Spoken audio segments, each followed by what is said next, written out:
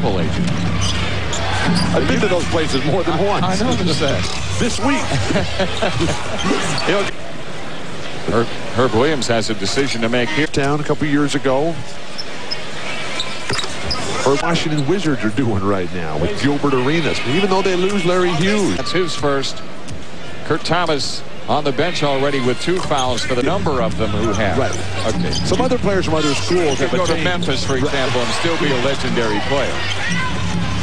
That's because he knows what we know.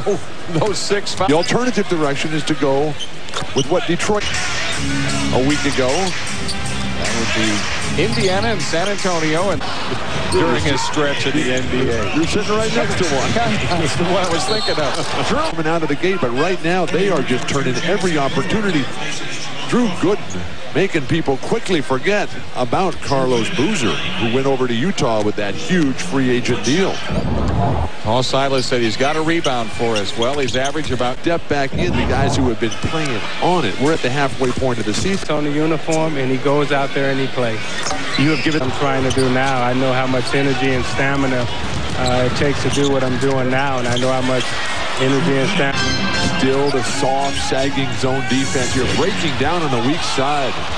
but Nazr Mohammed. All right, guys, Drew Gooden with 13.7 boards in the first half. How have you guys been able to establish such dominance with points in the paint? Uh, I think we're running a lot of pick and roll sets right now. It's tough for uh, New York to contain that. So we just gonna keep coming at them with uh, pick and roll sets and attacking the basket. You guys were up big double figures in the first half, but Jamal Crawford caught fire. How do you slow him down? It's kind of cannon out there, and once he gets going, it's hard to stop him. Uh, I think that's one person that we gotta know where he is on the court at all times. Drew Gooden, guys, having an all-star year, averaging 14 and 10 on the season, making a lot of people forget about Carlos Boozer. Back to you. Thanks. All right. At the 8-19 mark of the second quarter. Cavaliers have completely stopped playing. Where's their spark going to come from? Chester High School for Trevor Ariza. Nice pass by Pavlovic. That they were hurting us with the pick and rolls, with the big slipping those picks. Meanwhile, offensively, they have to run their zone off. Plan. If Stephon Marbury was the third or fourth best player on the team, people wouldn't be all over his case. Get their defense creating turnovers and deflections again so they can get out in transition. Nice up and under. And Ilgauskas rebounded by Trailer. Nice outlet. The Cavaliers are not rebounding like they were in the first half, though. Beautiful. Atlanta are definitely going to be looking to get to that sixth. Some of Jamal Crawford's shot selection has left a bit to be desired tonight. Wow. 14 points in that second quarter.